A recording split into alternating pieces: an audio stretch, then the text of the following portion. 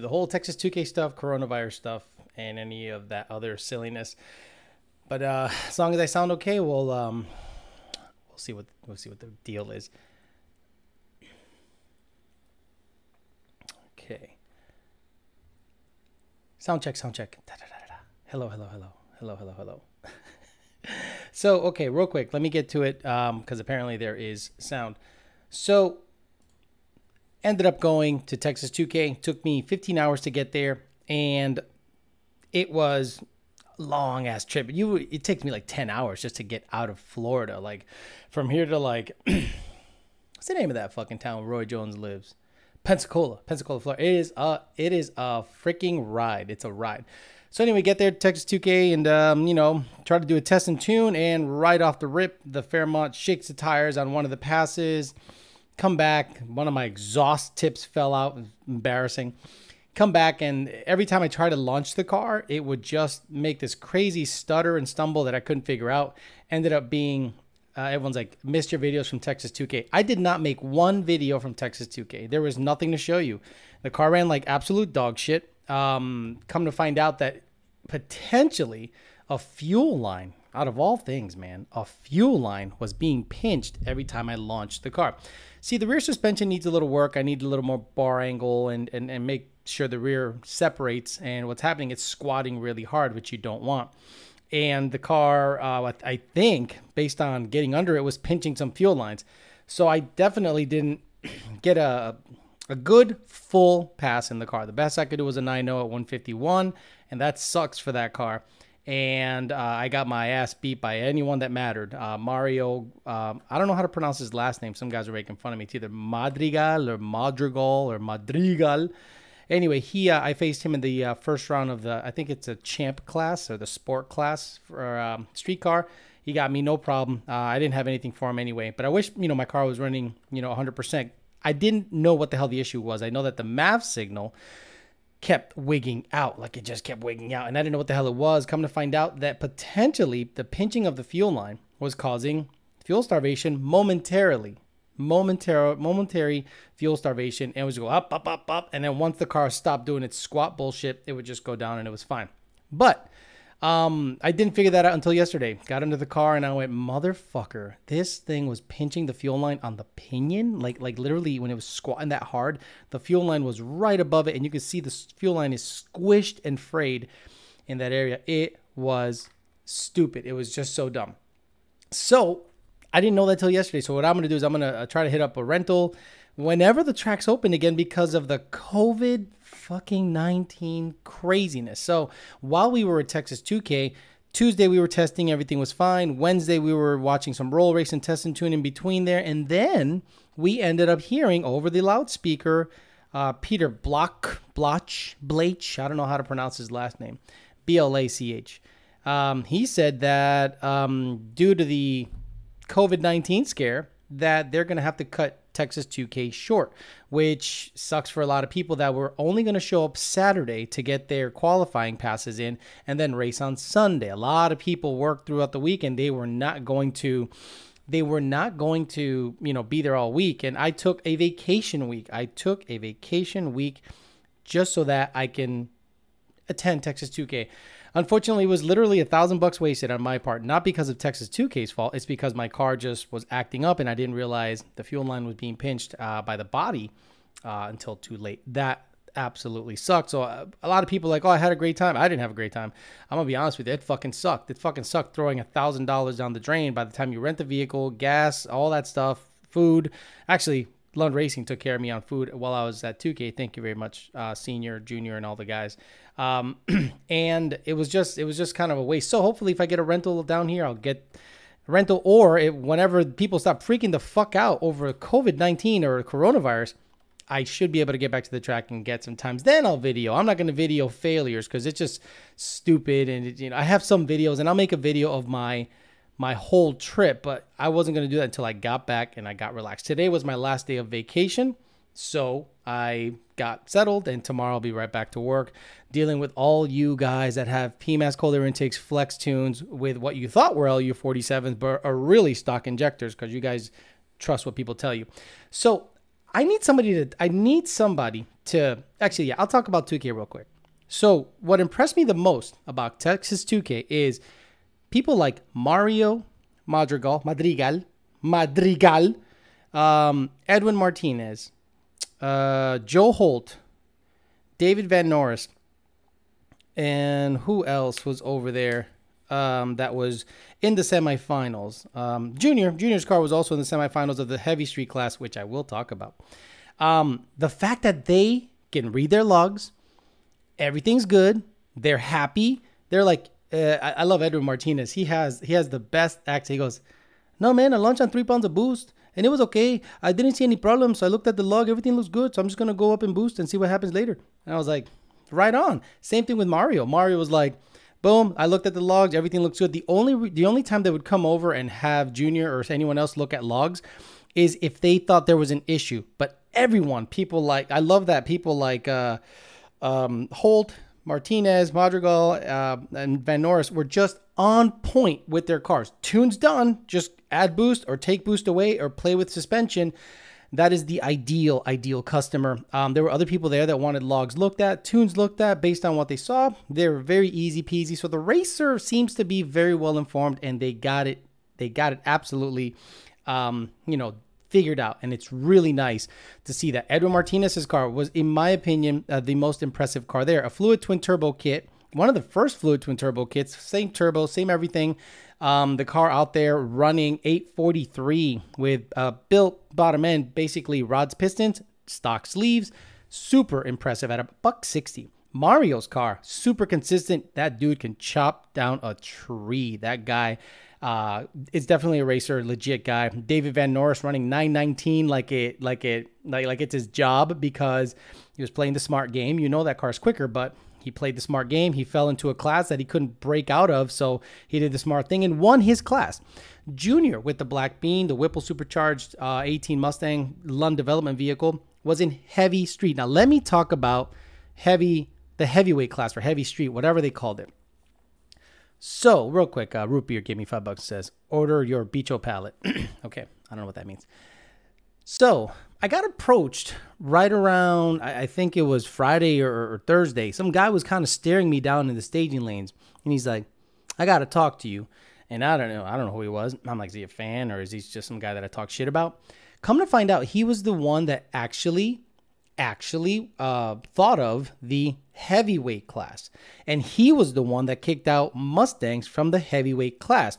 And he's like, hey, I got a bone to pick with you. I'm like, bone to pick with me. What did I do? You know, what the hell did I do? so he said, you know, I don't like the fact that you were talking shit that we kicked out Mustangs. And I was like, well, why not? You kicked out Mustangs that met the minimum weight. You kicked them out for the sheer fact that they were Mustangs. And he's like, no, no, no. Uh, what happened was I my I those cars did not meet my intent of the class. And I said, I can't read your mind. I don't know what your intent of the class is. And he goes, Well, my intent was to have somewhere where I can race. I have a CTSV, a heavy CTSV. I don't know if it's a twin turbo car or what. It's well into the nines, maybe high eights. And I wanted somewhere where a twin turbo Mustang wasn't going to show up and beat our ass. well, my thought process along that was okay, so if a twin turbo Mustang that weighs 4,300 pounds busts everyone's ass, what's wrong with that? What is wrong with that? So I think they're going to work with someone like Junior because Junior's more level headed than I am. I am very black and white. I'm like, hey, um, 4,200 pounds, uh, no turbos, single power adder, uh, boom, done. You can have literally anything you want go in there and, and drag some ass. But his intent was to have more of like a Charger, Challenger, CTSV class. But now that he saw that Junior's car or Lund Racing's car a single power adder Mustang with a 10R80 can run 880, 870s pretty easily at 4,275 pounds is what the car weighed at race weight.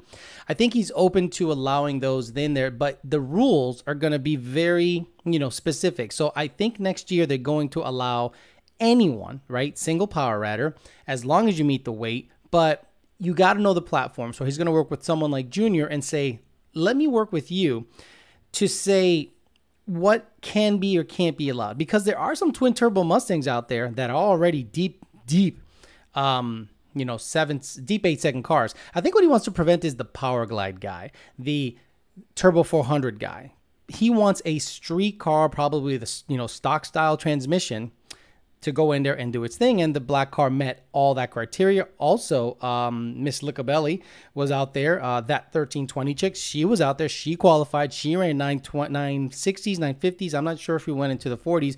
So both Mustangs were out there at full weight running Whipple superchargers, running a badass number. She had a stock motor. Junior had a built motor. Junior was going 870s. Went to the semifinals where he unfortunately spun. But the guy who actually made up the class was very much a, you know, didn't know that Mustangs can do this. He thought, ah, oh, shit, a Power Glide twin turbo Mustang is going to show up and beat everybody in the class. When in fact, you don't need all that stuff in a Mustang to, to be very quick. Now, that really woke a lot of us up that there are some eight second Hellcats and Demons out there. Sure, they have massive superchargers, and I believe they have nitrous. I'm not 100% though.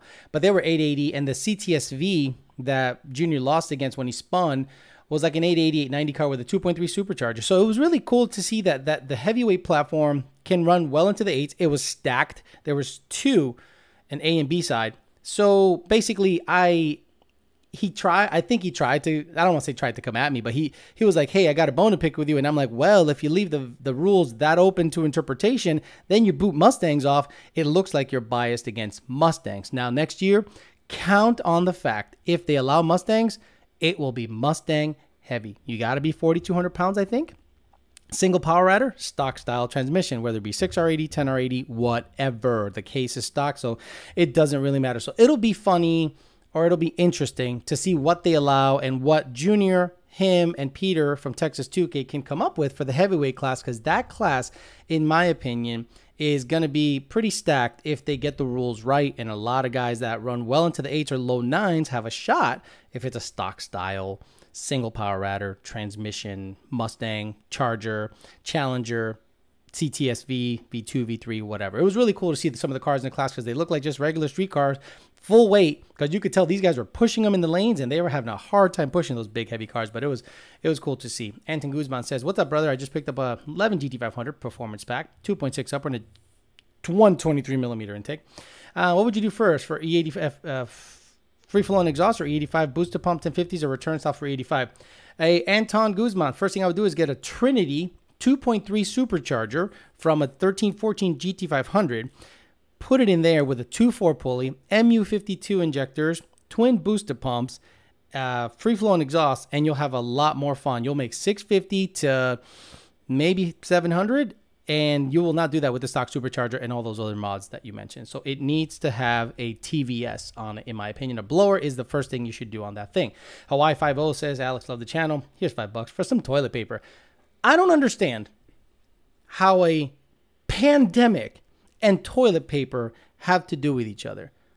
You're gonna shit your brains out that much that you need that much toilet paper? Like, look, if you were out there buying toilet paper, you're a fucking moron. You're a mouth breathing fucking moron. Sorry. If you're out there buying a lot of toilet paper, look, how much, uh, how often do you shit a day? Like, what is a normal amount of shit a day? Right? I'm, um, I eat, you know, whatever. I shit once a day, maybe two if I eat a lot. But if, are you guys shitting three or four times a day? Like seriously? And then do you do you believe that if you don't have toilet paper, you will die of just shit shitting on the toilet? Uh, uh, well, well, they're gonna tell me to stay home for two weeks, so I need seven pallets of toilet paper because I'm gonna do nothing but shit all day. How are you going to shit that much? How about this? If you run out of toilet paper, ration it. Or take a fucking shower. Stand up, smush the shit between your cheeks, and go to the shower and stomp the shit down the grate if you have to. But no, you guys are like, oh, I'm gonna buy toilet paper. And you see the people buying toilet paper. You literally see the people buying toilet paper are slob ass, nasty mouth breathing, trailer park looking trash motherfuckers. And forgive me if you aren't and you did buy toilet paper, that just means you're fucking retarded. Retarded. There are people out there that probably went to the store on a regular day and were like, I need some toilet paper, and it was gone. And you know what they said? Oh, that sucks. I guess I'll wipe my ass with, uh, you know, I don't know, uh, paper towels or something for the time being, or wet wipes, which you should do, eh, or I'll just take a shower. nope, nope. You guys are insanely buying. And then let's say this, you know, pandemic, which it isn't yet. Uh, I understand you guys are freaking out because you don't know what's happening and what what's the government not telling us. I get that. I get that. I get that. But when you have that much toilet paper in your shelves and you're like, the fuck did I do? What the fuck? What the fuck did I do? How stupid am I? Like, you're going to look at that toilet paper when this is all over and they have a vaccine and they find out that you get a sore throat and you shit a little bit, you know, diarrhea, and you're like, I didn't need 99% of that shit. You're probably going to go, well, it's better safe than sorry. Really? Toilet paper? Better safe than sorry to have a bunch of toilet paper because you're too stupid to realize that wiping your ass constantly isn't going to save you from dying of uh, coronavirus? what the fuck is wrong with you? Wow. So America is stupid. I've come to the conclusion that America is stupid. If the news says something, they freak the fuck out. There are people, there are people out there that you know what who I think is secretly liking this? Secretly liking this. Preppers. Preppers are I think it, I told you so.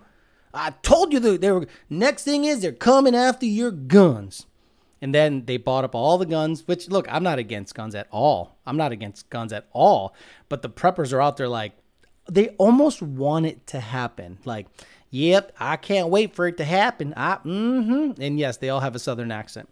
Um, but yeah, it was just, it was just blew my mind. Now, in Houston, when I was in Houston at uh, Baytown, Texas 2K, nobody was freaking out. Nobody was out there freaking the fuck out, going crazy. On the way back, nobody was freaking out, fucking going crazy. And then I went here, and no one is freaking out, going crazy. They did close school, so I totally understand the parents freaking out. Like, what the hell am I going to do? I have a full time job.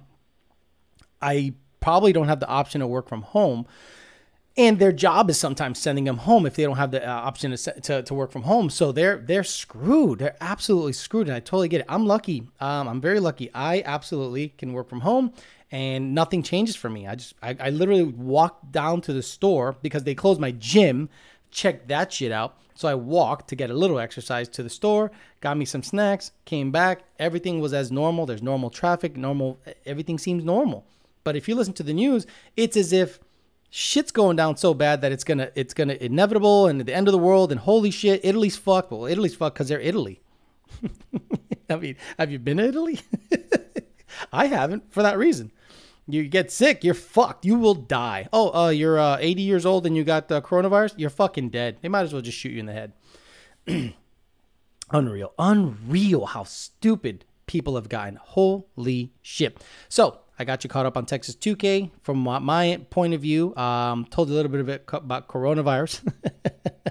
and I'm just going to talk just general shit today. I'm just going to answer regular questions and just go at it because what an what a crazy week. The next thing is going to be curfews. Like like literal curfews. Like here when you have a hurricane, the cops are like if you're outside doing anything, you can get arrested. I get that for looting and all that stuff. But good luck on a nice 80 degree day down here in Florida telling people stay your ass in at 8 o'clock at night. They ain't gonna do that shit. They're gonna do whatever the fuck they want. Uh, Ford Ford is Allah goddamn names. Their names are shit. 11 Gen 2 swap. After coasting at low RPM, as soon as I hit the gas, a loud pop is heard from the exhaust. Any ideas? L&M cams, ported 18 manifold, long tubes, and ported heads. I wonder if um, when your injectors are turning back on, meaning after decel, when the injectors turn back on, there's some unburned exhaust in the obviously unburned gas in the exhaust and it ignites the moment you get back in it. I'm not I'm not sure if the cams are making that more of an issue, but I think that that has to do with it. It's mostly coasting fuel shut off or decel or decel fuel shut off, meaning when you let off the gas, the injector shut off. If there's any raw fuel in there and it, and you give it gas and it pops, that might be what's happening. Is you're igniting everything that's in the exhaust. Lightning Blue 50 says, Hey Alex, I have an 18 Mustang GT 6 speed tuned by London. It's throwing a code P061B. The RPM won't go past 2000 RPMs and it feels like it's gonna stall getting out of first. Now I'm gonna show you something. If you Google PO 61B, and you hit enter. It says, uh, what the fuck? Internal module control calculation performance. I think that's one of those bullshit DTCs. in my opinion, reload the tune because it sounds like you're in failsafe, whether it be a throttle body issue or a TPS issue or something like that. It's obviously not a circuit code, but I would just reload the tune and see if it does it. And then if it still does it, hit up the tune, the ticket system, and tell them everything you have installed and verify everything you have installed. Don't just tell them you got this, verify everything you got. Oh, I bought injectors from a buddy and he said they were LU47s. Verify that. Open them up, look at the bottom, make sure there's six holes and then they're a long body Bosch. That's how you know it's an LU47. Hey, Alex, I have 18. I already got that. That's Lightning Blue 50 said that. Um, for the spot on TP Hoarder rant, LOL. Sean Sean Moat, thank you very much. Hey, Alex, uh, does Lund offer a Ghost Cam tune for 6RD S550 Whipple and free flowing exhaust? And if it does, will it make me gay if I want one? Yes, you're absolutely gay if you want one. And yes, we provide a tune for that. Do not expect it to drive well. It will chop, chug, and sound like a cammed car, and it will drive as such. It is only meant for you to put it in park and chop around at the parking lot, not a drivability tune. uh, Christopher Kazil says, Alex, badass channels. Great job evolving into the go to YouTube spitting facts. Been building my MTD2 car via your most humble opinions over the years. Man crush, no homo, no Camaro.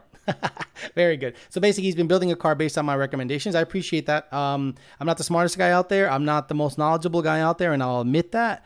But I'm the, probably the best guy to bring you information in a simple way. And yeah, I'm wrong a lot, and I'll correct my errors. But fuck it. You know, who else are you gonna listen to? Some guy that, some guy that just does burnouts and it and. It some guy that just does burnouts and bought a bought a racetrack just to do burnouts. I mean, badass shit. But I see that channel for two seconds and I want to just fucking I want to lick like a handrail that was grabbed by every coronavirus uh you know holder out there. It was awful. no offense, it's just not my thing. Burnouts, it's uh, burnouts. Who gives a fuck about burnouts? Holy shit. Uh, Tommy Gunn, Tommy Gunn. Uh, says uh, 13 GT Aluminator and a Hellion Twin 62 system with four triple pump E85 ID 1700s Plazmaman intake. Why'd you go with a Plazmaman? you can only put about 25, 26 pounds of booze through that Aluminator unless it's sleeved and o-ringed. So the Plazmaman is useless as shit. Love ya, but you know Plazmaman is good when you're gonna do 35, 30, 35 plus PSI through it. Otherwise, you are not making any more power. You're just saying, I got a Plazmaman on it. Plazmaman, Plasma Man. How much boost do you run through it? 10 PSI. Why the fuck did you do that? I still didn't finish your question. PBH4, 200 Vikings, 355 gears, air full on. Are, are high eights possible? Oh, yeah, no problem.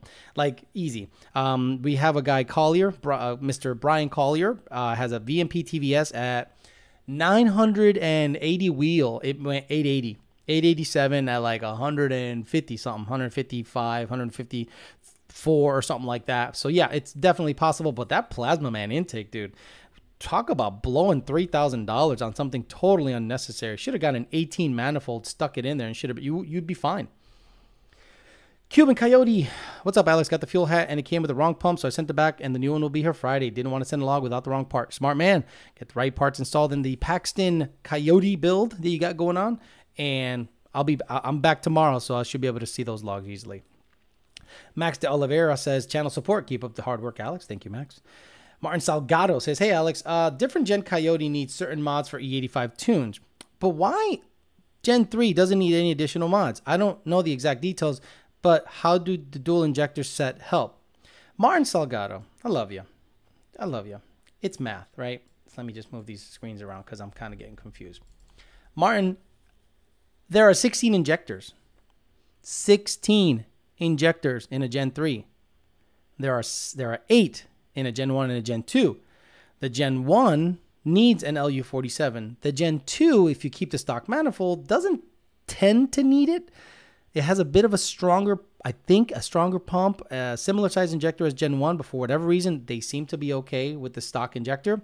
But if for headroom and an aftermarket manifold, I want you to buy some LU47s minimum because the spray pattern is super favorable for NA and E85 applications. So Martin, Gen 3 has eight direct injectors, eight port injectors. So you don't need more fueling. It's done. Here it is. You have 16 injectors on Gen 3, eight direct, 8 port. That's why you don't need any mods on Gen 3. Craftsman says, any word on the three valve coyote swap harness from PBH? Yeah, um, I was talking to Jake about it today. Oh gosh, I was talking about it to Jake, and I said, "Hey Jake, what's up with this thing?" And he he actually has a bit of a delay going on with uh, manufacturing. It's not easy just to oh, let me just make a bunch of harnesses. You have to mass produce them, test them to make sure that they're good, and then sell them to the general public. But he is trying to slowly roll them out there. So they're not that far away. Look, don't rush this process. Wait, wait, wait. Because what's the alternative?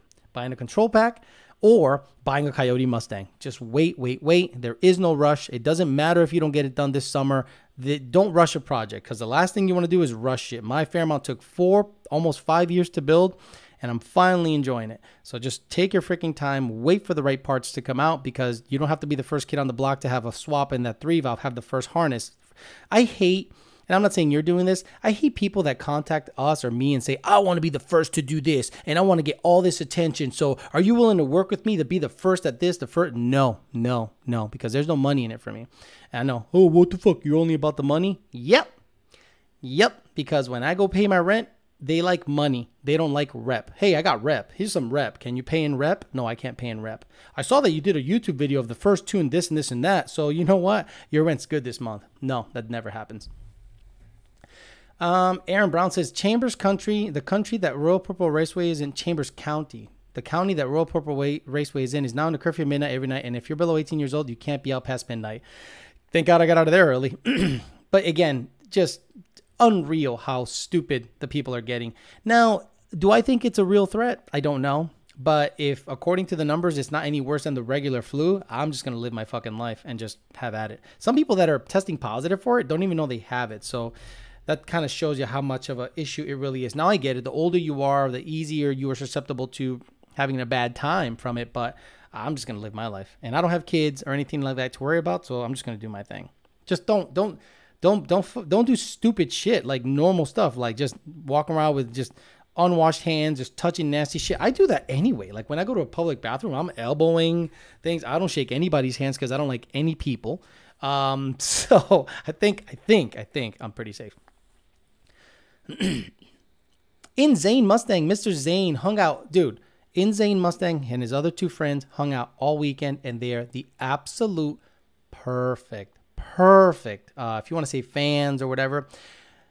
I did lose my temper a couple of times, not at them. I just said, hey guys, my car's not running well, and I just lost my shit inside. I said, you know, and then they, they just kept their distance. And then when things were good, they would come by, show me a video, talk, hang out. Super cool guys. Supported, took videos, hung out the whole weekend, guys. They hung out the whole weekend. Perfect. When when when things were scrambling in the in the pits, they were away. When we were chilling and relaxed, they were in there with us, just hanging out, having a good time. And I made sure that I talked to them and I made a post on Instagram thanking them. They were super supportive, just the best, perfect type of people that understood how to hang out. So, in Zane Mustang, I appreciate you hanging out all weekend with us. He said, for the Lund decal y'all gave out, go hanging out with you all week, Alex. Great people in that Lund camp. Uh, Junior did very well, everything considered. Junior did do really good, everything considered. Junior uh, went up there and broke a drive shaft uh, for first day of testing, second pass. Dakota and Nick Perciello almost died because they were like, they got stuck to the track. So I hope Dakota's okay because he literally fell and Perciello almost lost his socks. It was great to watch. But um, Junior did great uh, given that everything that was going on. Senior, killer job crewing both cars. Senior was crewing the black car and the Fairmont. Um, the Fairmont didn't need much. I, it was just diagnosing what the hell the issue was. The Black Bean needed, you know, some plug work. It needed ice. It needed, you know, uh, the the trans uh, underneath area monitor just to make sure everything was good. everything was really cool. Uh, that to see Junior go up there in heads up racing and uh, do really well, make it to the semifinals on a pretty competitive class. Gallo Bravo says, "Buy a gun, Alex." I'm not gonna buy any fucking gun. Because what happens if you don't have a gun, right? Let's say, for instance, shit goes down. Are you going to carry your gun with you at all times? And if for any instance you're in a situation where you got to use it and you can't, it falls off, it gets taken away from you, you got to learn to fight. So, but I get it. Look, I'm a big advocate of guns. You want to have guns, have at it. I just grew up in a different area, and if you show if you show a gun to anyone and you don't shoot that motherfucker dead, you got to watch your back for the rest of your life. So that's why I'm like, I can't have a gun. No way. But Insane Mustang, thanks for hanging out all weekend. Appreciate it. Mario Madrigal. Is it Madrigal? Madrigal? Uh, he says, "Here's 20 for for the fuel line. Thanks a lot. I wanted to race it for a while and called you out when you got there. Didn't push the call out when I saw you having issues. Was luck of the draw when I got you first round. Rematch soon at 100%. Yeah, Mario. Um, if you attend any other events in Texas that are Mustang or Ford specific, I'll do my best to get down there to you. I think it's only um, fair." To make sure we run each other because he is just a great dude, great guy, and I like competitive racers like that that are good people. Um, and his crew seemed to be pretty legit. There was a funny video that was shared about a guy that he raced in a like a Lexus that it kind of kind of go making its rounds. It's very good. Um, I guess the guy was like, "I'm watching this guy." And like a UFC fighter, I'm not gonna take my hands off him. I'm gonna, I'm not gonna take my eyes off him. I'm looking at him. I'm looking right at him. And then the car spun, unfortunately. So it was just kind of a funny video, but it was, it was, it was entertaining to watch. But Mario, yeah, for sure, I'd love to run you back once the car is uh, running good. And uh, hey, you got me fair and square. I got my ass beat, gapped big time by uh, Mario. His car was running really nice all weekend. He's good on the light too. You can't fuck with Mario. He is good on that light. So do not sleep. If you're racing Mario, get on that light. But yeah, Mario, uh, we'll we'll race again. I'll try to get get out there if there's any Mustang specific events or if you make it to Mod Nats. Tommy Gunn says, "Thanks for all, all you do, Alex. You're welcome, Tommy. Hopefully that car will go eights. Uh, Aluminator on if Aluminator makes 900, Aluminator will make 900 no problem. If the car weighs 34, 3,500 pounds, that bitch will run 870s, 860s if you can get the 60 foot right. Man of War says here's a little for the TP. Haha, some Canadian. I don't know how much Canadian money is worth anymore. Isn't Trudeau like, where are you at? And isn't it funny that all these CEOs are stepping down at the same time? That's another thing that is kind of funny. Someone had a conspiracy theory about, you know, uh, what do you call it underage sex scandals and stuff like that and then all these high end you know ceos are just falling off and the uh, coronavirus is like a thing to thwart the economy it was just like this layered crazy thing but i'm not going to doubt it i'm just like wow it's all coincidental Aaron Brown says, I haven't been able to get in contact with Midnight for my twin turbo kit install. I call Heidman Performance in Houston. Any thoughts on them? What should I do to get the car into Midnight? I mean, I don't know. You can get in touch with Manuel Gomez really easy. You go to Facebook or their Midnight, I think they have a Midnight Performance page.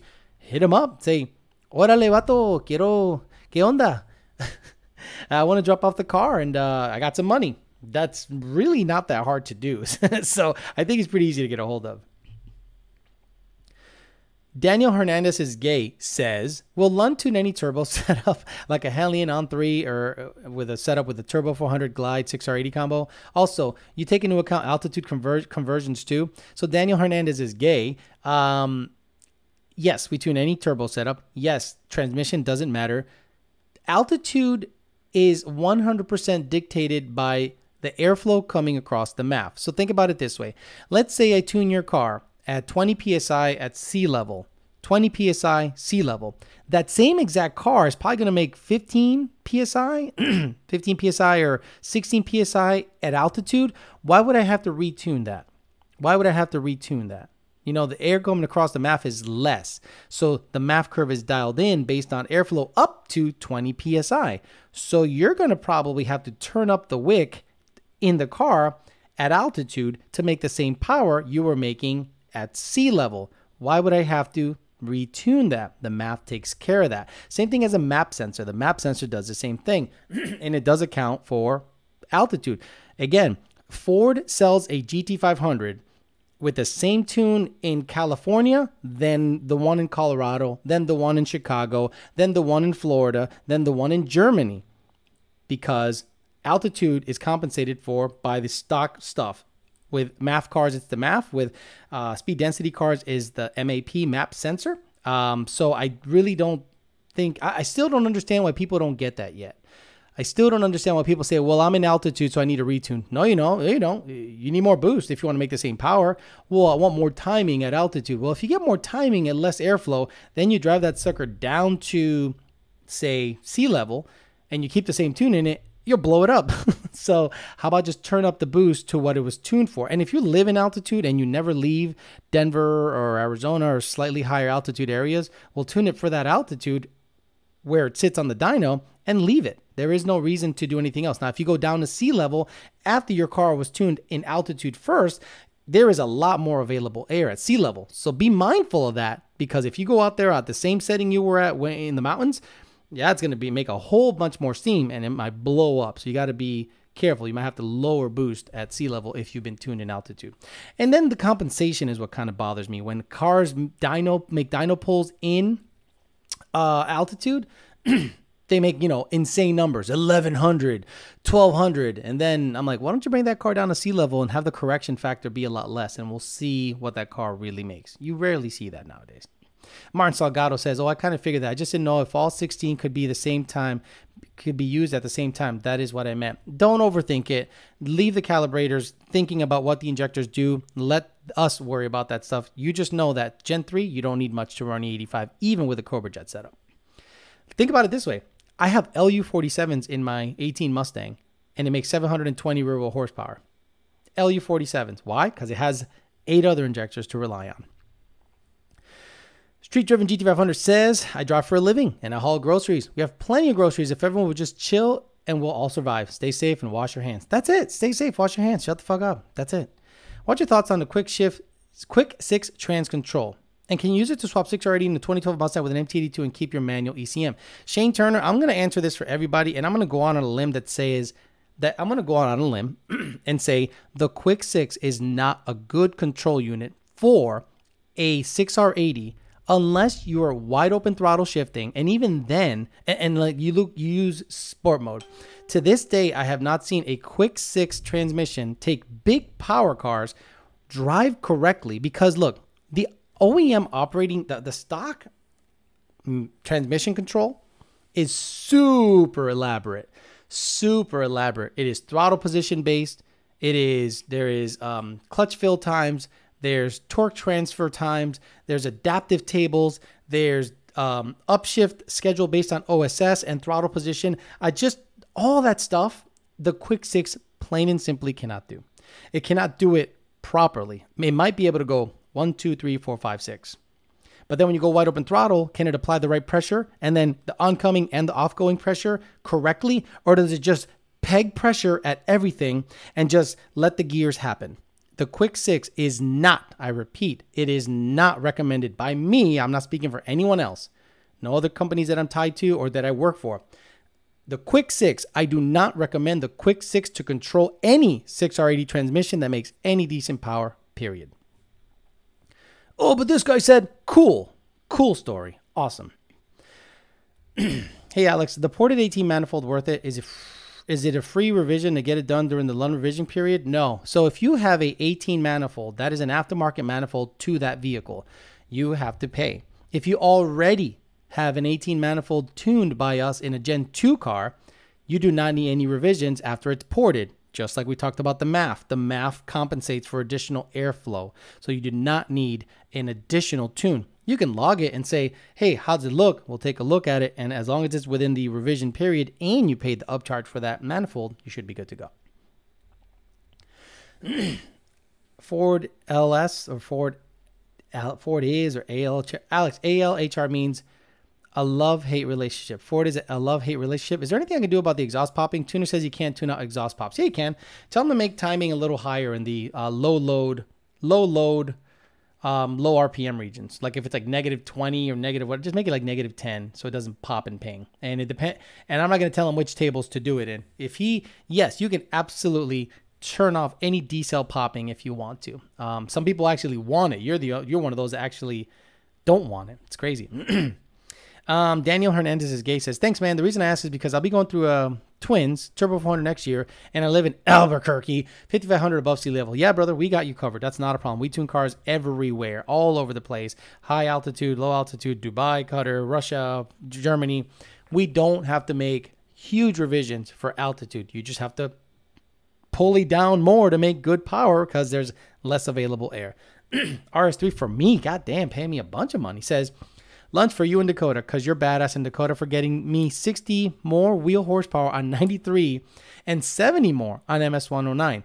I went from 645 on 93 and 670 on 109 to 705, 556 on 93 and 740 on MS109. Make sure you buy him lunch. Lund for the motherfucking win. Okay, uh, I'll uh, hit him up on the PayPal and you know send him the money, and uh, he should be good to go for tomorrow for Wawa. They all go to Wawa when it comes to um, lunch up there at Lund HQ. Iron Bull says, Alex, I'm cheap and not going to pay a shop 130 an hour to install my 170 degree thermostat. If I do it myself, can I drive with no issues for two hours to the shop for a dyno tune? As long as you don't have any air in the system, Iron Bull, I don't see it being an issue at all. YouTube Corrupt Enter Free Speech says, should I go with the 132 millimeter throttle body or the 150? 132. I'm not even going to answer the rest of your question. All right, uh, because I'll read the rest of the question. 132. The gain between the 132 and the 150 at like a thousand horsepower car is like eight, eight or nine from 132 to 150. Hardly worth the additional four or five hundred bucks that it costs. So 132 is more than enough. No, more than enough.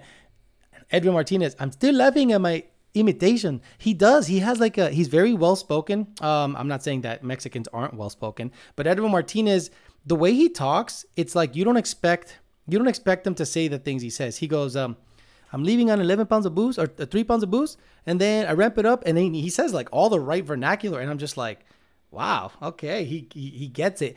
And I'm not surprised, you know, that he says it because he's Mexican. I'm surprised he knows so much and I think he really pays attention.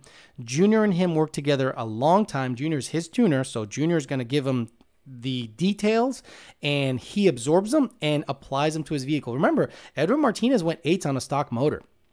890 something on a stock motor and he has incrementally grown with that car and it's cool to see a, a, old school fluid kit get it done and edwin shows up has one or two crew members they get it done he doesn't even bother us for logs until he has a question you know, he goes, oh, I did this and I did something on the third, three and four shift. And we look at it, it's, oh, it's converter lockup or whatever.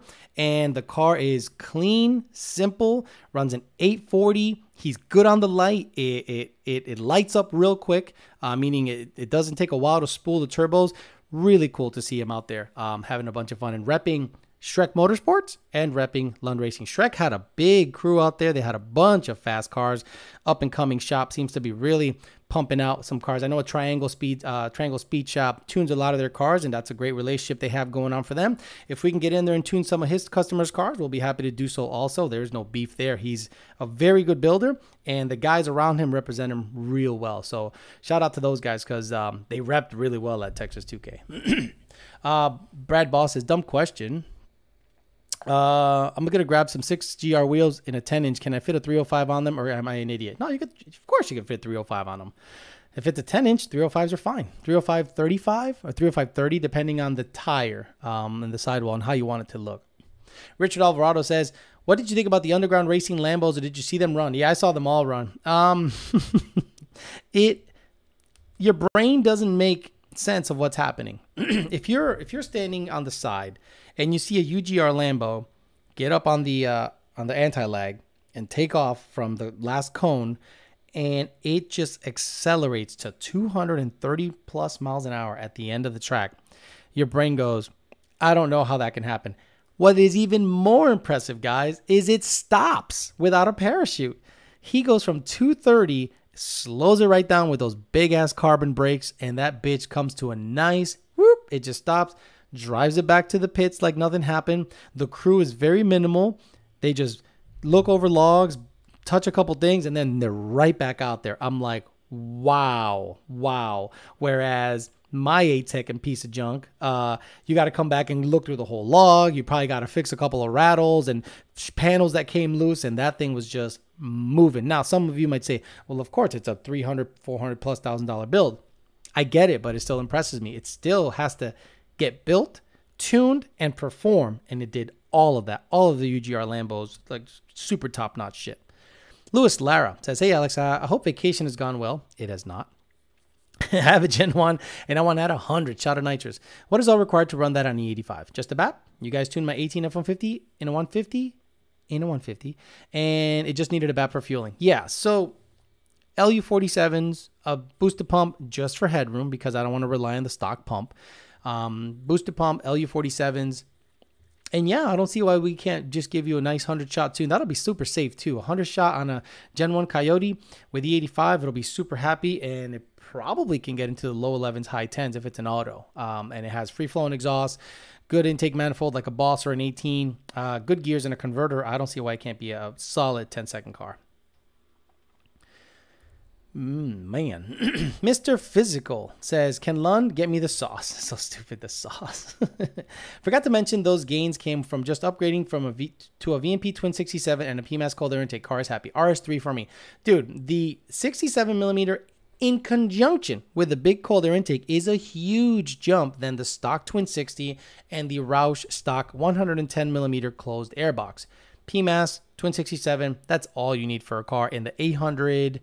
I mean, even 850 and down, that's all you need. Anything above that, you might want to start looking at slightly bigger stuff. But if you're going to live in that zone, that car is going to be super happy there for a long time. so Chris Gorzinski, Gorzinski says, uh, deciding between hand ported 18 manifold or hand ported Boss. Which one would you recommend for ProCharger setup? Love the Boss look and it don't care about the hood change, but if it's less efficient, then I'll go 18. I think I think you're kind of like splitting cunt hairs at that point. I think you're going to be good with either or. Okay, the Boss intake manifold does well. A ported Boss intake manifold with forced induction does well. The 18 manifold I think is just cheaper that's that i think that's the allure. It, it's just cheaper and i don't think it performs that much better than the bo- ported boss 302 it performs very well but the price the price the price is what is enticing about the 18 manifold. So i think you're good with both. It's just about how you want it to look under the hood in my opinion. Coyote Fury says, I tried C85 over the weekend for the first time in my 18 on my Lund E85 tune. Wow, night and day from Pump E.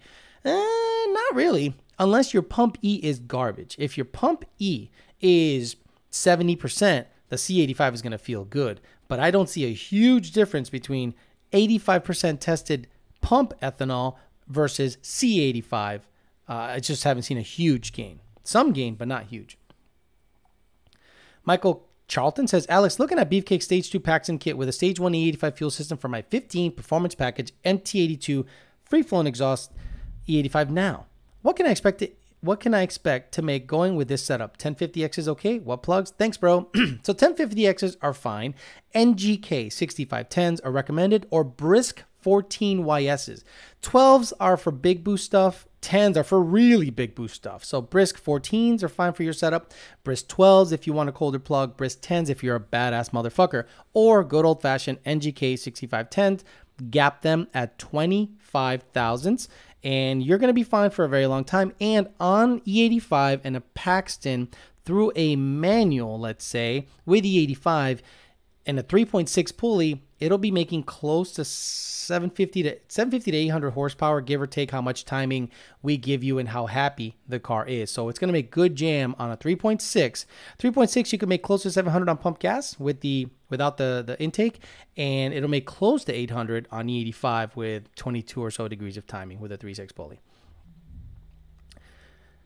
Very good. That was nice. Um, okay, David Martin says if the QuickShift 6 isn't good for a 6R80, then what is? A stock operating system, a stock Coyote computer. He says, I am swapping a 07 GT motor and trans, a stock operating system. So if you have an 07 GT, wait, what? A 07 GT motor and I'm swapping an 07 GT, mo- a three valve? So you're going to put a three valve? You're going to put a 6R80 behind a three valve? Not a Coyote?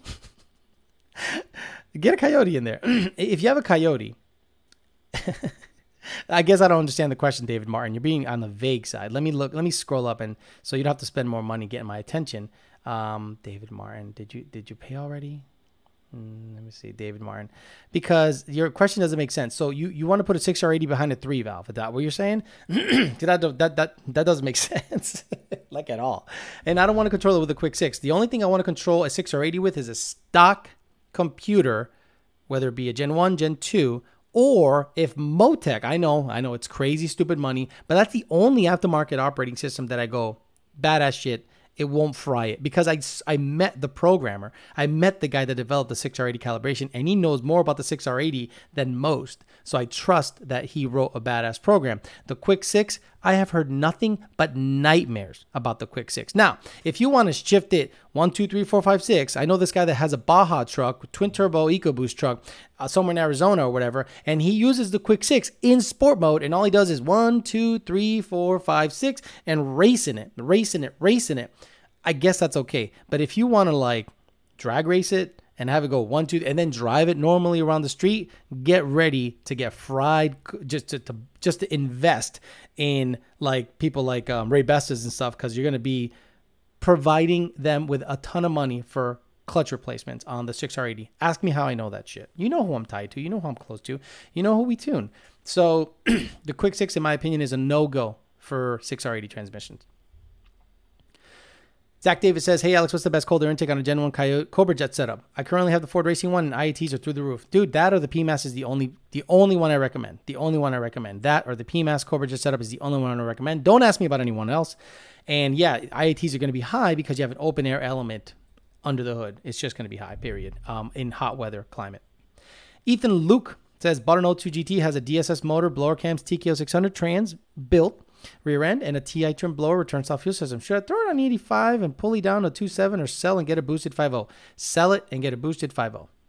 Trust me, the O2 GT is cool, I guess, but just get a boosted 5.0, dude. Trust me, you're going to be seconds faster than the two valve or is it a two valve three valve no it's a two valve oh my god it's a two valve jesus yeah fuck yeah get that thing out of there that thing gone get that thing out of your fucking life trust me someone said what happened to that c8 the c8 broke a uh, axle but another c8 somewhere else went 11 one no yeah 1102 with a drag pack it had sticky tires and a skinny and it went on the stock tune 1102.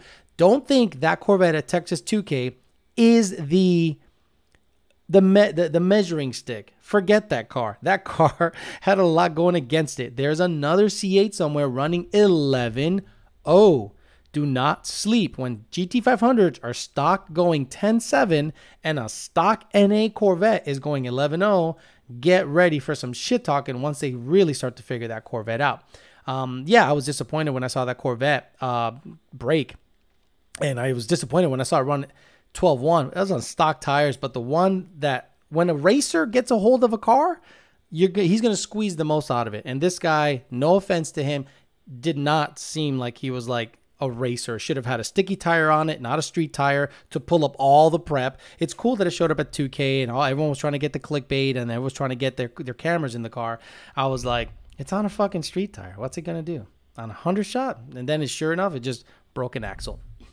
Thank you, Stoneface, for the channel support. I appreciate it. Uh, David Martin says, I have a Coyote and a 6R80 going into an 07. Then buy a Ford Racing control pack.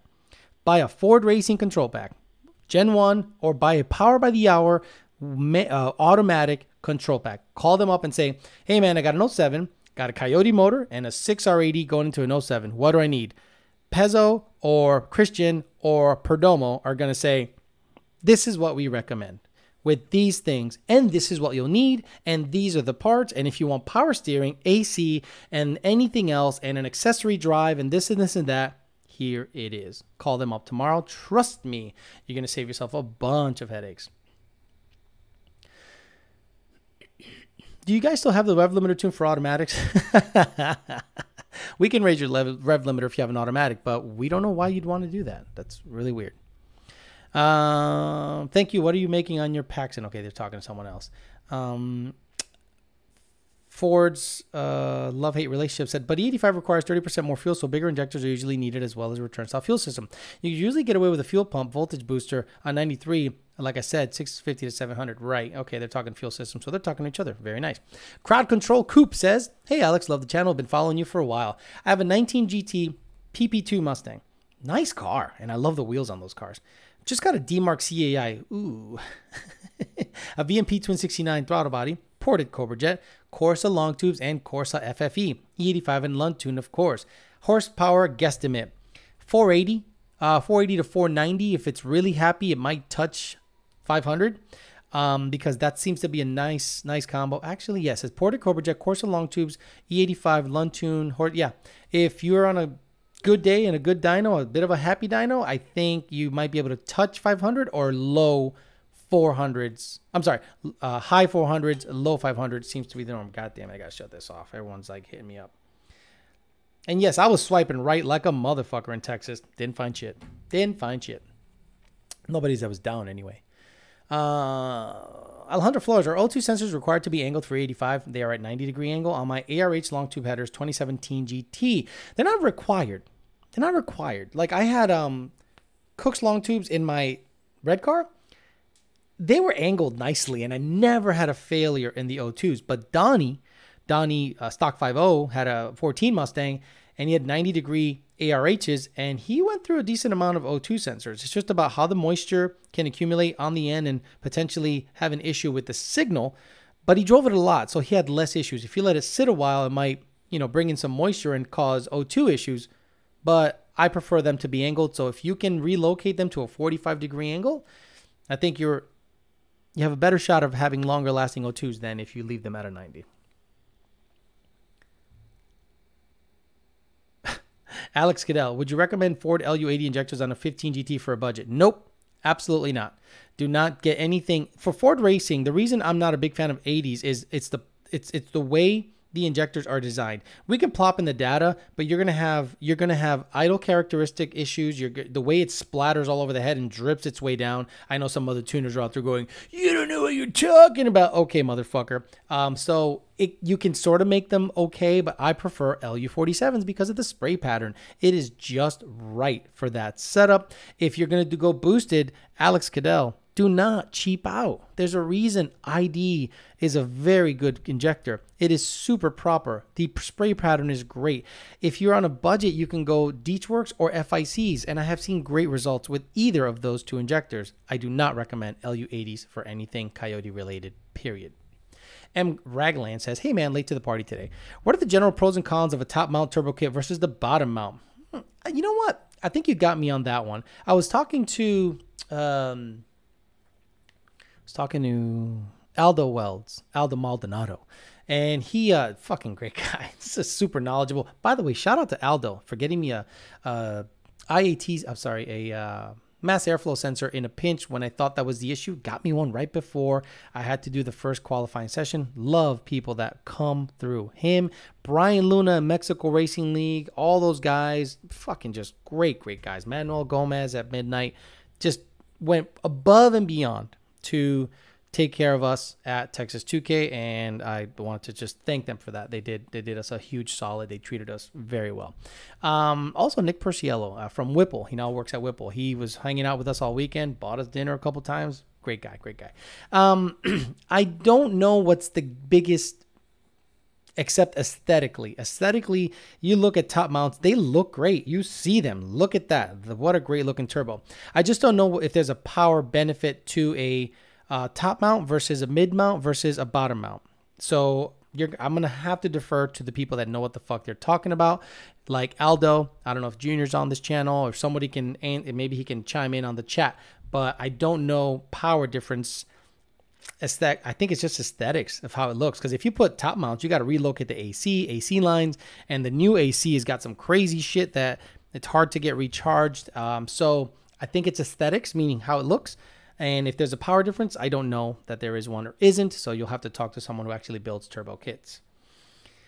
Quick Stanger says, Alex, a little support for the lessons. My last performance car was a Fox body, so I'm learning a lot about the Coyote from your episodes. Thank you very much. If you if you don't know anything about Coyote Mustangs at all, and you listen to my live streams and a lot of the videos, which I've made the channel more of a tutorial, FAQ kind of learning about Coyote. And you know what? I'm not going to make the most money. I'm not going to get 200,000 views, and I'm not going to get the most clicks.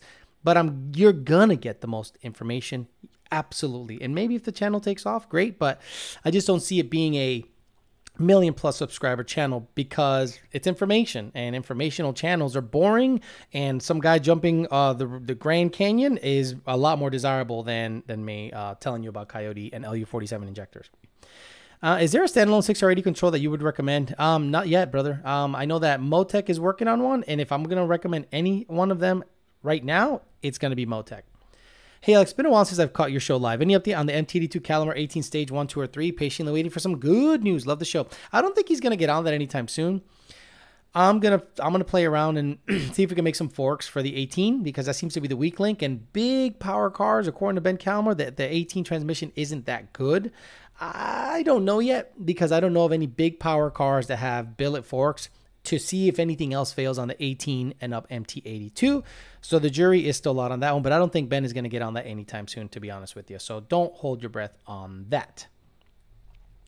Hunter Walker says, stupid question, probably, but how many revisions do you think I would need to dial in a basic bolt on free flowing exhaust 350 manifold 17 GT manual? One tune. Hunter Walker, one tune. If you're on pump gas, we got that tune so dialed in. I just say, here you go. But I'm gonna have you, you know, data log it to make sure that you don't have any air leaks or, or fuel leaks or bad injector or anything like that or a bad O2. But usually the, the, the those tunes are one and done, Hunter Walker. So if I were you, I'd get in there, get it ordered, and we can dial you in probably that day. And I know a lot of you are going to be home now. So I suspect we're going to be slammed this month because a lot of you are staying home and getting paid apparently. And you're going to get a $1,000 check from President Trump. But if you voted Democrat in the last election, please hand in that check to anybody else. Do not cash the check if you voted Democrat last election. Why? Because Trump is not your president. And if you dare to cash that check, you're a fucking hypocrite. You cash that check, you hypocrite fuck. I don't care that you're, I, I know shit's bad and you might need it, but if you talk shit on this president, you should not cash that check. you should go, not my president. Fuck that guy. Rip it up. Yeah, mate. Fuck him. No, you're gonna stay nice and quiet and you're gonna cash that check because you're a fucking hypocrite motherfucker, aren't you? Yes, you are. Yes, you are, you hypocrite motherfucker. Uh, Jim Jones says, "Holla at your boy, Jim Jones." Jim Jones, a rapper, man. You uh, thank thanks a lot. um, is a stall recommended for the 10R80? I plan on supercharging the car in the future. I would definitely recommend a um, a stall, but if you're gonna make big boy power, I'm saying 800 and up, I've seen the stock converter work really well. Uh, Zach Myers, I think, has a stock converter. Zach Meyer runs eights. Uh, we do have a different converter. We run eights, so that'll be interesting. But I think you should get a converter. It's a nice little upgrade. You can do the second gear launch if you're making over 800 real horsepower, maybe more, and the car will plant the tire better, and the converter will actually help you get you the best ET possible. Uh, in swap cars, is there any problems when making your own intake tube from the fender to get cold air? Christopher Anderson. Christopher Anderson, I would definitely make sure that where the MAF sensor is located, it's as straight as possible. Meaning, don't make a turn right before it or right after it. Make the make the longest run that is straight on the cold air where you're going to put the MAF sensor.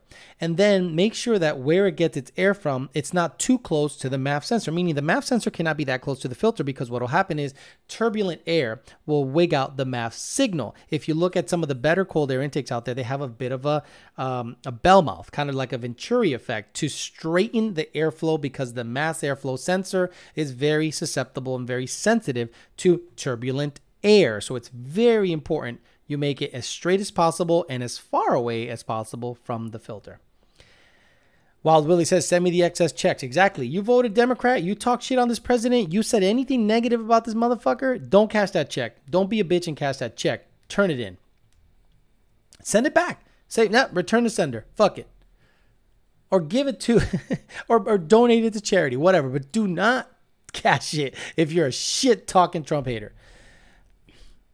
Wouldn't that go both ways with people not wanting socialism? I guess so, right? That kind of is socialism at that point. So that is kind of, you're right. You're right. Um, Seth Hayden, you're 100% right. If you do not want a government handout, if you don't want a government handout, and you're one of those guys that preaches about hating on socialism, hating on Bernie, hating on the shit, you too cannot cash that check. You will need to just say, um, you know, if you're if you're righteous, if you are a righteous motherfucker, you can't cash that check either if you hate socialism, and you can't cash that check either if you hate Donald Trump. I can cash a check. So fuck everybody. I can cash a fucking check. Give me that check. Thinking of getting 12 or 13 GT500, what mods and brands do you recommend before getting NSR cams? Dude, everything. Everything before NSR cams. NSR cams, in my opinion, are the last thing you should do. 10% overdrive, 2.4 upper, E85 fuel system, twin BAPs, 1050Xs. The last thing you should do is cams because it is expensive as hell. The cams are 1200 bucks and then you got to drop the motor and have someone install them. Big money. You're looking at about a $3,000 bill to install cams. So the last thing I'm going to do is install cams. I'd rather get more boost in the car than cams, unless you're really, really wanting the car to chop. Alex Cadell says, Is there any such thing as um, too much injector for an NA? Can I run the IDs and be okay?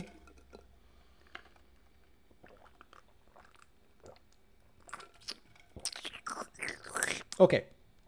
When my belt would break on the 15 Mustang, because it was a VMP blower, it ran off of the rear sheath. So the only other thing it was controlling was the AC.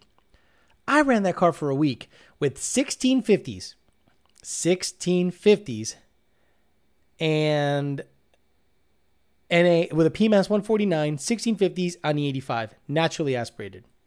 The injectors only use what they need. It's not going to flood the car out. The injectors don't just have a static operating window. They don't just go beep, open, close all the time like a clock. They go based on what the engine needs. So if you're not flowing a ton of air, the injector is going to go, yeah, this is all you need. This is all you need. Yes, it is a big injector, but it is not going to flood the engine out. You can run 1050X's NA, you can run 1300s NA, but I wouldn't run 1700s NA. um, it's just a, a lot of injector, but I don't think it's going to be a problem driving around with a big injector on the 85. 1050Xs, NA. I know many guys that do NA, 1050Xs, and a fuel system. And then, you know, because they're going to boost it later, the car runs fine for a very long time until they get boost in it, for sure. Government cutting checks to people is the purest form of socialism. Pull yourself up by the bootstraps and find a job that sh- that a job that isn't shut down. Exactly, Seth. You're not wrong. Seth, you're not wrong. I'm not disagreeing with you at all. 302 Nightmare. Yeah, because Trump's sending the money. I'm telling you, if you don't want to, if you don't want to, um, if you're a anti-socialist, hardcore, talking all this shit, yeah, you shouldn't cash a check either because that's socialism, right? I get it. It's a stimulus check. I understand, guys. I'm not stupid. It's a stimulus check because the government is mandating you shut down so not everyone fucking dies because this thing can be crazy. Uh, and this COVID 19 or coronavirus can really take off and really cause issues and kill some people that are that have weak immune systems. So they say stay your ass home, which we know causes money money issues. So the government says, "Well, we told you to stay home, so here's some money." So whatever, cast a fucking check. I don't give a shit. Unless you voted Democrat, so fuck you. Um, y'all see that fat guy wearing the YDB t-shirt on It's Just Cheek channel get beat by his GT350? Yeah, I think he said he had that guy didn't make a ton of power. Um, the 350 is gonna roll out, but the guy who had that shirt, he wasn't like at that car's level, but he wasn't that far. He didn't get spanked. He said he was actually pretty close. but I don't watch It's Just a Six because I am a straight male and I don't dare watch that fucking garbage. No offense to, to him, but that is just AIDS to the eyes. Eye AIDS.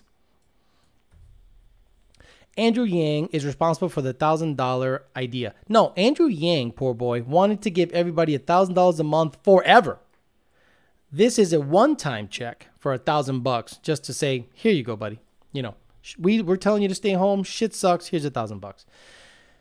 Time to find us big girls right big girls right now. They have toilet paper and snacks. The blue life. You're not wrong. Big girls not only do they have snacks, they do have toilet paper. They gotta have toilet paper. Or a bidet. You missed my question, but no big deal. Iced five. Damn it, iced. What do you think about people going high compression on coyotes or low compression. I see a lot of people in the Middle East going high compression. High compression, because if you're to run race gas, why would you run low compression? Tell me what the best thing about running low compression is. Some people would say you can run more boost. Well, you can run, you have to run more boost on low compression to make the same power you would make on high compression vehicles with less boost. So if you have a 11 to 1 motor and on 12 psi, it makes 750 what do you think you would need boost wise on a 901 motor to make 750?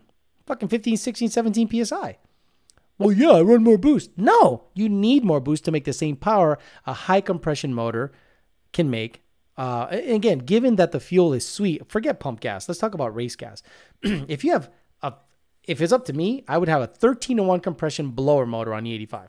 It's not going to detonate. Plenty of octane. It's not going to be a problem. So I love compression. The more compression, the better because I can make a lot more power with not that much boost. There you go. High compression, in my opinion, is king. What cam do you recommend for an NA 4.6 3 valve? Hyzai MRC delete, Kooks headers, off road, Magnaflow catback, and underhead pulley. Doesn't Ford Racing sell a cam? Uh, or, you know, some mother thumpers or something like that? Yeah, I, I'm not well versed in that in the three valve world, but the, the typical cam that everyone gets out there, you know, just go ahead and get. Uh, it's gonna go from 280 horsepower to 300. I mean, for a thousand bucks. All right, I don't know how much they are, but honestly, I'm not a three valve guy. So mother thumpers or some Ford racing cams, and they seem to be okay. Those drinking sounds are sexy, Mr. 305. I don't live in the 305. I live in the 561. Also with a GT500 throttle body. What cam do you recommend? Uh, oh, yeah, honestly, Mother Thumpers or Ford Racing cams. I, I wouldn't go too crazy. Why? Because it's a three valve. Sorry. Baby wipes are smooth on the bum. Yeah, you're right, uh, Chris Newstrom. Once you have baby wipes, it's like having sex with a condom the first without a condom for the first time. You remember, you remember, think back when you were whatever, and you're being Mr. Safe and you're out there banging with condoms and you're like, oh, this is, you know, it's good. It's good, right? Then you, you know, you guys are a little drunk or whatever, and hey baby, I mean, let me just feel that. Let me just can I just feel it? Can I just put the tip in? Can I just put the tip? In? I just want to feel it. I just want to feel it. And you slide in for the first time and you're like, oh my God. Oh, and then you nut after two strokes. You will never go back to using condoms. You just won't, especially if you have a steady girlfriend. You're just like, so then what happens is if you break up with that girlfriend and you go to go back to condoms, you're like, God damn it. this sucks. And you're just pumping away and you can't finish. Oh, I can't finish. And then she thinks, Are you not turned down by me? I'm like, No, baby, I've had condomless sex. This sucks now. Let's just get right to it. yeah. Um, where was I going with that? where was I going with that? Da, da, da, I forget. I don't even know what question made me think of that. Uh, Towley's here says, don't forget to bring a towel. Uh, 280 horsepower to 300 horsepower. No difference, still slow, and you'd lose a thousand bucks. Alex Garcia, that's great. Equals no difference, still slow. Yeah, dude, I, I wouldn't. F, yeah, Justin Katie says FRPP hot rod cams are the thing everyone gets for the three valves, so you can get them. They're just gonna chop it. I don't think it's gonna make like a huge, huge difference power wise. It's just gonna be big money to make it chop. What are your thoughts about Corona? Are we dying? No, I think if you do normal shit, wash your hands, aren't a slob, don't fucking, you know, don't don't do nasty, dirty shit. I think you're going to be okay. Obviously, avoid crowds for now to keep it on the low, but you're more likely to get the common cold or um, the regular flu. The regular flu is bad. I got the regular flu for the first time two years ago. I thought I was dying. I just go, I was just in bed going, oh. And about a week later, I, came out of it like, holy shit, that was unreal. But I hadn't gotten it in 40 years. I, would never had the flu before. And yeah, it hit me hard, but now I'm slightly immune to it. This coronavirus, treat it the same way. Some people say they have it, tested positive for it, and didn't even feel anything. But the problem is, if you're old and have a weakened immune system, your ass can die. I don't think if you're in your between the age of 18 to 40 that you're gonna have issues unless you like have a weakened immune system. Alex Cadell says, "Um, thanks for the info. I'm still learning how to mod my car. So far, it's coming well. Thanks to your recommendations. It's rough asking simple cara de mierda questions, cuh. I'm ignorant. You're not wrong. Yeah, no, I get it. I look, it's hard to find information, especially on forums, because everyone knows everything. Today, I was looking at a forum or uh, uh, on Facebook, and someone says, Hey, I have a circuit code. Listen to this. I have a circuit code. Have you guys run into anything like this? Everyone was like, Tune, tune, tune. Call your tuner, your tuner. And then they started recommending the tuners. Are you Lund Tune? You should go to this tuner. Are you this tuner? You should go to this tuner. And I'm going, it's a circuit code. There's something that he doesn't have connected. Circuit. Guys, circuit. It is not a tune issue. You have something not connected or an intermittent connection. It is not a tune issue, but he asked the forum and he got forum answers. That's what he gets. Coronavirus is a coronavirus is a two is to distract from the FKA movement. You're not wrong, JT McDowell. There is a movement out there. Thanks for the info. Okay, sorry. Biggest short, biggest short, biggest shortcoming of the Gen 3 engine by itself, besides the ticking, some of them have, in your opinion, there isn't really a shortcoming. Stock motor Gen 3s have been eights. Stock motor Gen 3s have made a thousand horsepower pretty easily. Stock motor Gen 3s with boost and E85 are super happy. David Van Norris went eight, low eights with it. Like he could have been the first and seven second stock motor um, Coyote, whether it be Gen 1, Gen 2, Gen 3, just overall Coyote, but he didn't he didn't have the he really didn't want to blow it up, so I don't blame him. But if I had unlimited funds, I would stuff a turbo in a Gen 3 and just go out there and gut it and see if I can run a 7 with it and say, fuck it, if it blows up, it blows up. But uh, besides the tick, I don't think there's that much of a shortcoming of the engine. It's very stout. Once the control packs come out there, meaning Ford Racing Auto Control Pack and the manual control packs, you're going to see those motors in everything, and you're going to see really stupidly fast Fox bodies because they got 12 to 1 compressions, great heads, big valves. They're going to roll out. They're going to roll out. Hell, if I can find a Gen 3 bottom end, I would swap my Gen 2 bottom end for it because of more compression, plain and simple. Should I sell my Gen 2 6R80 for a Gen 3 10R80? Well, what are you going to put it in? uh, F-150, S550, what are you going to put it in? The control system dictates what transmission you can use. So if you have a Gen 2 control system, you cannot use a Gen 3 10R80 in a Gen 2 control system, meaning a control pack. The only reason you would buy a Gen 3 10R80 is to use it in a Gen 3 control pack or a Gen 3 vehicle. Period. There is no other reason to get it.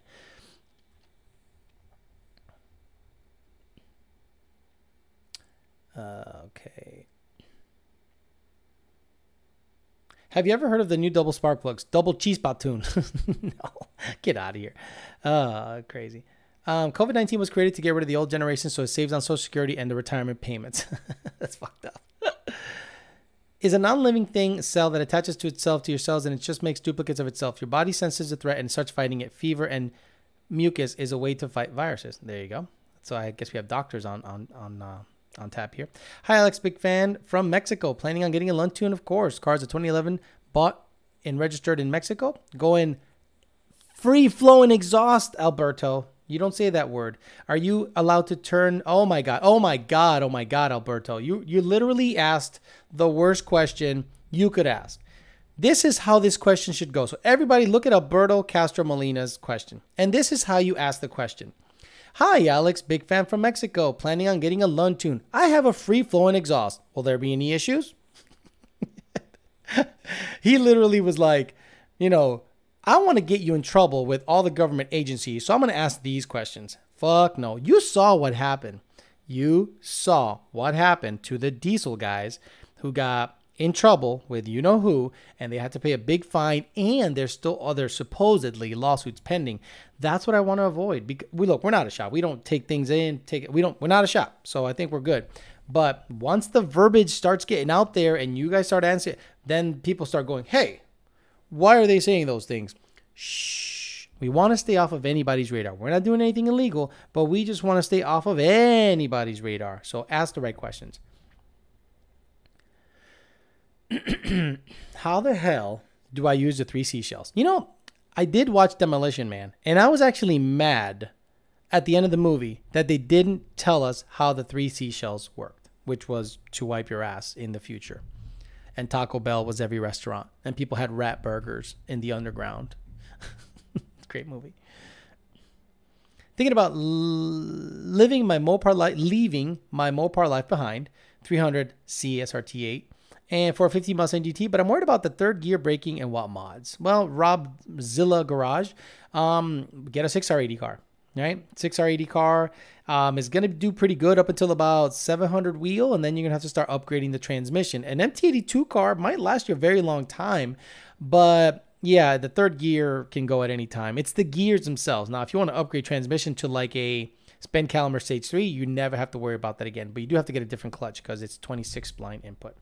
Uh, Kona Coyote S550 says, For my 19 GT 10R80 85 Lund tune, should I go with the 305 35 9 NT05R or a Mickey Thompson 275 45 18? I don't have experience with either tire and can't decide. You should get a 305 45 17 ET Street R if you're going to drag race it. If you're going to drag race it, 305 45 17 Mickey Thompson ET Street R. If you want a regular everyday tire, get the NT05R. The 275 45 18, I don't know enough of is it a Mickey Thompson ET Street SS? I would I would take a Mickey Thompson ET Street SS over any Nitto drag radial. But if you really want to drag race the car and it's not your daily, you can get a 305 45 17 ET Street R. In my opinion, that's the best tire out there for your power level. David Martin gave me a dollar. Thank you very much. I appreciate that, brother.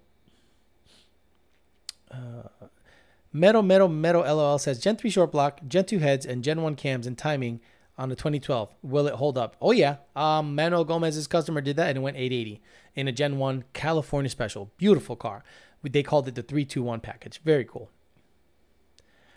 I just bought a 2013 GT from Copart. MT82 has long tubes and Corsa catback and a Boss manifold JLT intake. How do I know if it's E85 or 93? if you bought it from Copart, it's probably 93, right? I mean, yeah, it's probably 93. Oh, you bought the whole GT. I don't know. Honestly, I don't know. Uh, you'd have to pull the tune somehow, but I don't know if you can do it, especially if it's tuned by us. You're, you're going to have a bad time. To try to ask this correctly, Bandy says. Plan to have catted long tubes in an emissions controlled state, Maryland. Any possible issues? If you have all of your emissions equipment present, Bandy, you should not have any issues because we don't turn off anything. We don't make it, we don't, we don't fool anything. If all of your emissions equipment is installed, car should pass emissions without any issue. Plain and simple. Let me scroll down, make sure I'm not missing anybody. There we go. There we go. Okay, looks like it's uh, nice and easy. I'm going to start telling you guys to not pay me anymore because I want to catch up on some of the questions that I didn't get just do not pay um, because if I leave and say goodbye and then all of a sudden you you get three questions across the board, it's gonna fuck me up. And then I'm gonna be I'm gonna feel so bad and I'm gonna try to get you on the you know on the backside and try to answer your question later on. But no more paid questions for now. We'll just try to get everyone uh, done here and just talk a little bit on the uh, the non-paid side chat. Jesus, and as I say that, two people pay. Hey Alex, what's King Daddy now? Boss 302 or Gen 3? Gen 3. Gen 3. Gen 3 is King Daddy, plain and simple. Gen 3 is King. Actually, King Daddy right now is Predator. Predator is King Daddy. Plain and simple. Um, it's a coyote, guys. It's a coyote, so it's it's coyote based. So the Predator is King Daddy. But I would do a Gen 3 over a Gen 1 boss motor because of the compression, cams, heads, and valves. Everything is better uh, in a Gen 3 than a Boss 302 motor. Uh, Tango says, 19 GT, and I've been to the dealership multiple times for the clutch being at the top of the travel, and I'm sick of dealing with them. What's a good aftermarket clutch that maintains daily drivability? Mantic has been great to me. I love them very much, and uh, it's a it's probably the best in terms of drivability, clutch, and high horsepower potential clamping and and um, holding power or holding capability than anything else that I've seen. Now, McLeod makes a great clutch. Exedy makes a decent clutch too. I just really am a fan of Mantic clutches. Yes, they're expensive, but you're pretty much only going to buy that clutch once. And then the replacement frictions are actually pretty cheap and it is a rebuildable clutch. So you don't have to buy the clutch multiple times. Buy it once, rebuild it. Car should be good for a very long time. Orbi Altizer says, uh, no, he's talking to Bandy, so let him talk to Bandy. Alex, would adding a ported boss to Beefcake's Paxton Stage 2 kit be a good idea? Yeah. You're going to have some higher RPM um, because, you know, the Paxton likes to flow some air and the higher velocity, the more power the manifold can feed the engine at higher RPM. So it'll be very much, uh, it was very much a, a, happy, it's a very much a, it's very, very much a desirable combination. AT manifold or Boss manifold and a Paxton is desirable. Emmanuel Fernandez says, I was about to pay for my questions, but in case you can read it. I have a 2014 Stage 3 Roush. Intake, mid pipe, 82 millimeter pulley. My car will randomly turn off once I put it in neutral sometimes, and will bog when I take off in a race. Rarely. Any ideas? The bogging is probably traction control. The shutting off seems to happen with aftermarket tunes based on a couple of things. I think it's the minimum spark allowed for idle control and a couple of other things that we might be able to fix, Emmanuel. If you are tuned by Lund Racing, we have fixes for that. Um, it is it is kind of involved, but if you're tuned by us, I know exactly what to do. If you're not tuned by us, then I would urge your tuner to take a look at the uh, areas that uh, allow spark to go too too far down, and it might cause the car to stall. Emmanuel. Okay, is there a difference between Gen 2 Coyote and the 302 Boss? Yeah. Yes, the part the cams are parked in a different position, but in terms of uh, um, mechanically, not that much. I think the cams are similar. Uh, the heads are better in the ported uh, in the in the Boss 302 because I think they're CNC'd, and I think they both can take about the same amount of power. I think the Boss 302 is a little bit of a better engine. Um, so there isn't a huge difference, but I think the Boss is a better engine overall than the Gen 2. How much boost will it take a stock Gen 1 to run mid nines? Uh, will it live? Um, probably won't live. So it's to be like 15 psi. 15 psi in E85, maybe maybe a little more. 15 psi E85, maybe 16 psi. So if it's a VMP 2.3, you need a 69 millimeter pulley. It'd be like a 950, 940 car. 69, uh, you know, it's gonna need it's gonna need big. It's gonna need 85. Um, Paxton, you're going to need 14, 15 PSI also. So, yeah, about 15 PSI or so, 15, 16 PSI should run mid nines. And I do not think it'll hold up for a very long time because that's like 750 rural horsepower. So, maybe more, a little more. Can you get a GT500? Can you get 500 of NA Gen 1 boost or will be cheaper? Can you get 500 of NA Gen 1 or boost will be cheaper? Boost will be cheaper. Nader Saleh. What is needed to upgrade to a 3.23 TVS on a 12 GT500 for pump gas? MU52 injector, but you don't need it, but it's it's desired. MU52 injector, which is a, a stock 13 to 14 GT500 injector. I would get twin boosted pumps just in case. Um, twin boosted pumps or twin fuel pump voltage boosters from VMP or something like that. So injector, get a bigger cold air since you're there already, and um, twin boosted pumps, and you should be okay to put a 2-3 in a 11 to 12 GT500. James H says a little support for the channel. Thank you very much. I appreciate that. Uh, hi, Alex, 2018 A10 tuned by you with a Steeda intake without the insert on the 85. I'm planning adding free flowing exhaust inch and 7 8 headers. Do I need a revision? Who? I can't believe it's idling without the insert. 18 Mustangs with a Steeda intake without the insert don't like to idle. So if you're having idle issues, Trooper 50, let me know and I'll try to see what we can do to make it idle better. But you'll have to put the insert back in, making it a 120 millimeter. But if you're not having any issues, and you want to add free flow and exhaust, yes, you'll need a revision. Let me know. Actually, on E85, you will not need a revision if you're already tuned for E85. If you're not tuned on E85 yet, you'll need a revision if you're going to run that exhaust setup that you just mentioned. F150 S550 says PMAS 123 millimeter new open box for sale. I think PMAS only makes a 120, but that's okay. A 15 to 17 GT, 300 bucks. So anyone that needs a PMAS 123 millimeter new in box, uh, F150 S550 has them for sale for 300 bucks. That's actually a nice way of getting it out there for like 10,000 views to, hey, look, if they watched at this time. Alex, the story was about to go from TP to wipes back to TP. Alex, the story was about going from TP to wipes back to TP. Yeah, it's crazy shit. Big Daddy Trucker says, Hola, Popoto. Popoto. what the fuck is that? Did you know that uh, a straw, if you're Mexican, what's the word for straw? Like popote?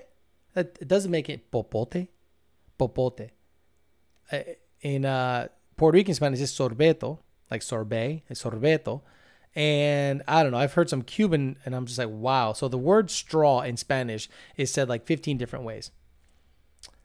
Alex Cadell says, Hey, Alex, can I quad turbocharge my car and Whipple charger for all the IAT heat cuts? can you get a 2.0 EcoBoost 400 horsepower? Sure, why not? Uh, 2.0 EcoBoost.